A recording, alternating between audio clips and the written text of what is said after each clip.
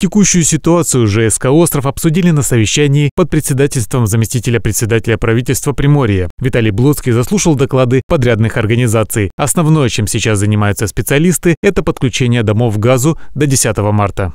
Э, монтаж завершен. Э, сегодня будет, э, подвезут комплектующие, будем уже соединять газопровод, вышедший из земли с домовым. Вот.